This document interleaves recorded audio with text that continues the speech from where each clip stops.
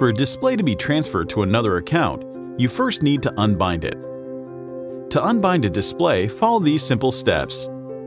Go to dms.benq.com and log into your BenQ account. Search for your device on the list.